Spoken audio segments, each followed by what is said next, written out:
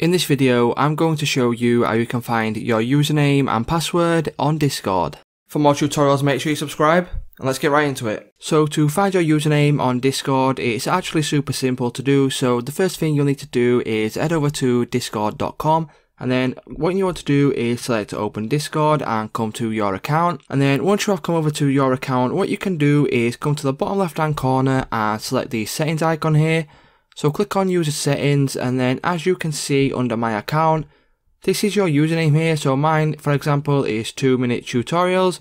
And the problem with finding your password on Discord is that it would be against security and things like that for Discord to show your password in full view. So what you can do uh, to get around this is come to this change password option here. And then if you click on that and you enter in your current password and then enter in a new password, you can change your password and then you will know your password and you can write it down and keep it safe so you will always know your password on Discord. So that's how you can go ahead and find your username and password on Discord.